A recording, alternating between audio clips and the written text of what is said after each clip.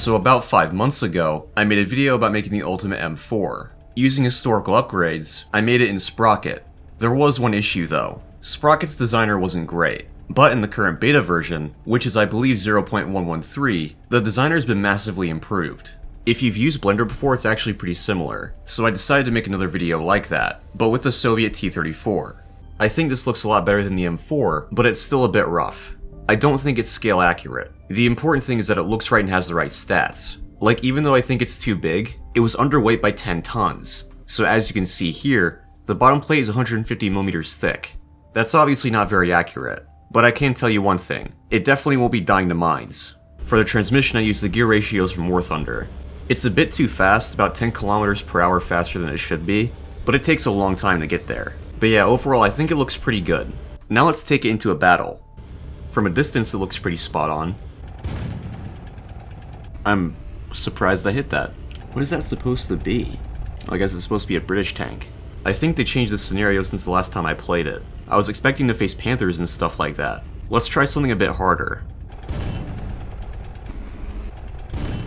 There's a king tiger over there. Let's see if I can outrun its turret. That would look to be a no. I can't believe this is working.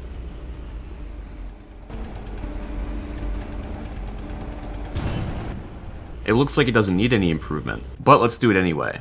Let's start with the turret and gun. So a lot of big guns have been mounted on a T-34, but those are mostly SPGs and pillboxes. In the role of an actual tank, the biggest was 100mm, specifically the low recoil LB100.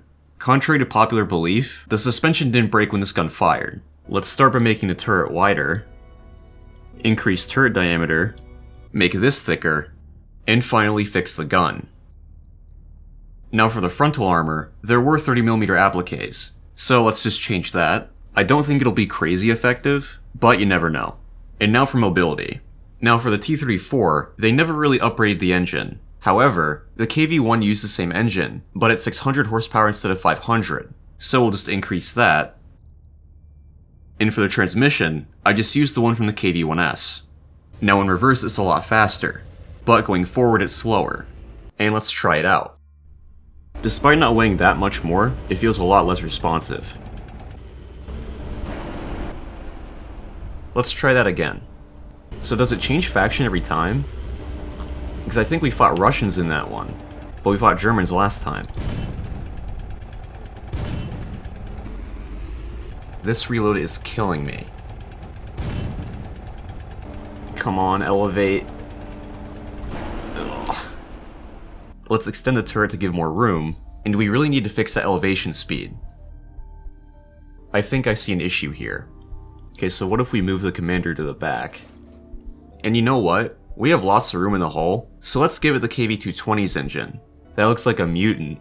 Okay, so our reload's better, and we seem to be a lot faster.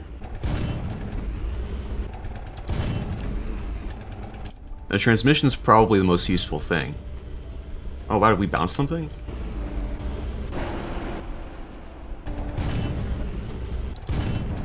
What?